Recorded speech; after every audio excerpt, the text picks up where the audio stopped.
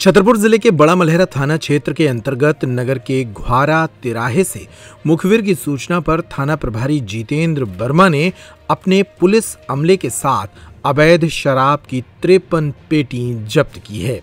पकड़ी गई शराब की कीमत दो लाख पैंतालीस हज़ार रुपए बताई गई है। ये शराब एक स्कॉर्पियो वाहन से ले जाई जा रही थी। शराब के साथ दो आरोपियों को भी गिरफ़्तार किया गया है। जबकि मुख्य आरोपी मौके से फरार हो गया।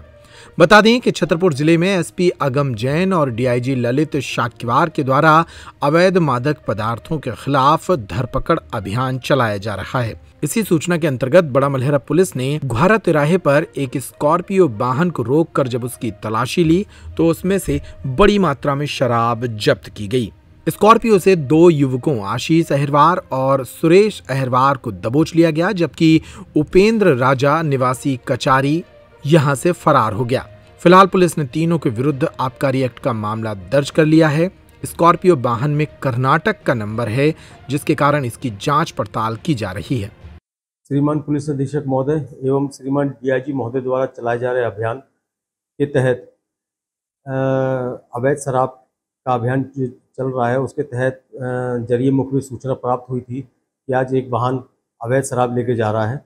जिस वाहन क्रमांक है K A zero three A C double zero eight seven जो भारत गड्ढा पे मिली, जिसको चेक किया तो जिसमें तिरपन पेटी शराब, चार सौ सत्तर लीटर, कीमती दो लाख पैंतालीस हज़ार रुपये की पाई गई।